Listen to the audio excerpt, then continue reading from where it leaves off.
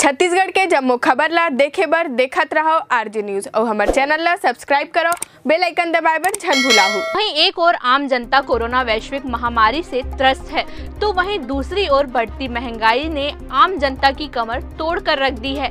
चाहे खाद, तेल के दाम हो या फिर डीजल और पेट्रोल के, सब आसमान छूने लगे हैं। वहीं अब महँगाई के मुद्दे पर सियासत भी तेज हो चुकी है। बता दें कि वहीं आज प्रदेश कांग्रेस कमेटी के आह्वान पर राजनांदगांव ज़िले में भी कांग्रेस के कार्यकर्ताओं द्वारा एक दिवसीय सांकेतिक धरना प्रदर्शन अपने अपने घरों के बाहर कोरोना प्रोटोकॉल का पालन करते हुए किया जा रहा है। इसी क्रम में राजनांदगांव ज़िले के डोंगरगढ़ ब्लॉक में भी प्रदर्शन किया गया।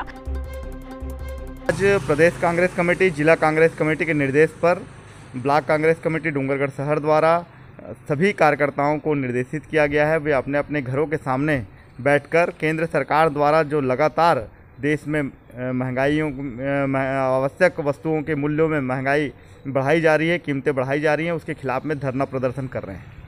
और इसी तारतम्य में आज हम सभी भी अपने अपने घर के सामने बैठे हैं।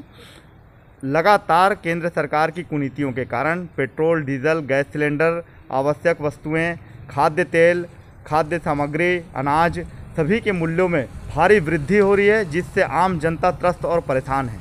और जनता त्रस्त और परेशान है, वहीं दूसरी ओर भाजपा के नेता कहते हैं हमारे प्रदेश के ब्रिजमोहन अग्रवाल जी कहते हैं कि जिन लोगों को लगता है कि ये बड़ी समस्या है तो वो अनाज खाना छोड़ दें, पेट्रोल, डीजल का उपयोग करना छोड़ दें। ये बिल्कुल जवाबदारी से भागने वाला उनका बयान है और जनता को कुछ नहीं समझते हैं, ऐसा प्रतीत होता है।